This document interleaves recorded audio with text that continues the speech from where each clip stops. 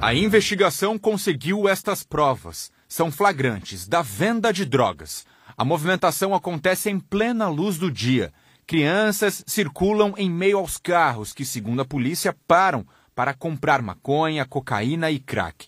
Os menores de idade passam pela rua onde estão duas escolas públicas da região. Este trabalho resultou na prisão de quatro traficantes, sendo um deles o gerente da Boca, conhecido por Kiel. É um indivíduo de apenas 23 anos, mas já é bastante escolado no tráfico de drogas. Né?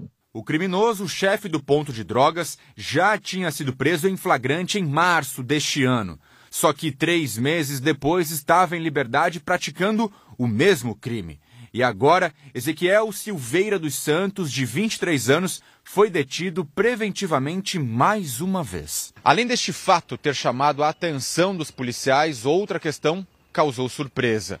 Alguns pais de alunos das duas escolas do bairro Santos Dumont eram usuários que compravam as drogas. Um dos usuários era um indivíduo de 40 anos que nos confessou que estava indo buscar o filho pequeno na escola. Só que antes de pegar a criança, ele passou para comprar uma bucha de cocaína e foi abordado pela nossa equipe.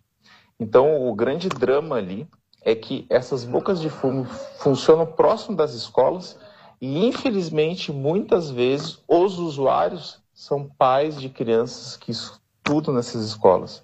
Os usuários, muitas vezes, são adolescentes que estudam nessas escolas. O delegado explicou que Ezequiel dos Santos tem experiência no crime e chegou a debochar de uma tentativa de prisão.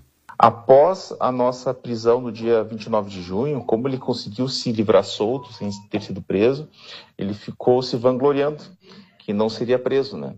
Só que ele não contava que o Poder Judiciário uh, funciona e decreta prisões. Né? Então, hoje foi uma resposta a essa sensação de impunidade que o Kel estava sentindo.